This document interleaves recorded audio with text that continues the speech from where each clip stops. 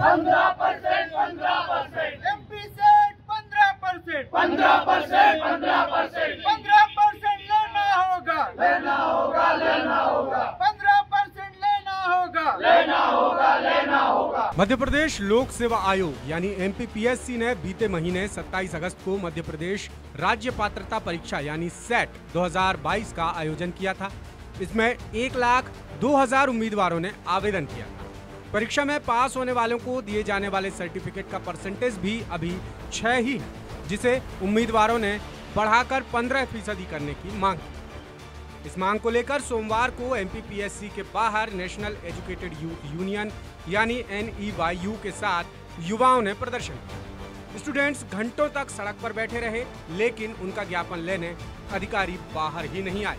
बाद में स्टूडेंट्स ने अपने मांगों को लेकर नारेबाजी की और ज्ञापन किया। युवाओं का कहना है कि जब साल 2017 में इसके पहले सेट की परीक्षा हुई थी और इसमें भी नियम 15 फ़ीसदी का था तो फिर वही इस बार भी क्यों नहीं? स्टूडेंट्स की मांग और भी है। मेयू के बैनर तले हम लोग तीन घंटे से यहाँ पर बैठे हैं, लेकिन आयोग की आज तानाशाही देखो, वो एक भी जिम्मेदार अधिकारी हमसे मिलने तक नहीं आए। युवा यहाँ परेशान है। एमपी सेट में हम 15 परसेंट की मांग को लेकर लगातार आंदोलन कर रहे तीन घंटे हो चुके। लेकिन देखिए, आयोग कितना वो हो चुका है शून्य इसकी मर्यादा या समझने को तैयार नहीं है युवाओं की भाषा को। और आज लगातार आंदोलन, और आज चेतावनी भी दे रहे हैं आयोग को। अगर आज बाहर नहीं आती है, मैडम, बाहर नहीं आती है तो एक बड़े आंदोलन के लिए ये आयोग तैयार है और अनिश्चितकालीन आंदोलन के लिए तैयार है। राज्य पात्रता परीक्षा 2022 यानी एस ए टी सेट में विषयवार और वर्गवार अर्हता छह की जगह पंद्रह फ़ीसदी।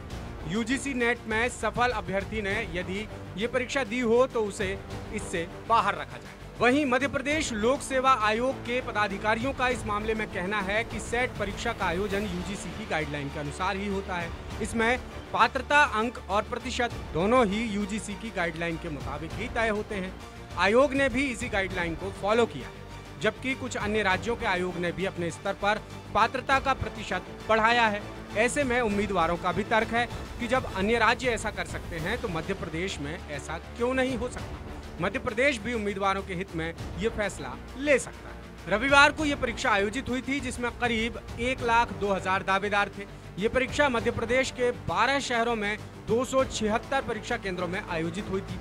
इंदौर में सर्वाधिक चौबीस हज़ार नौ सौ उम्मीदवार थे, जो इस परीक्षा में शामिल हुए।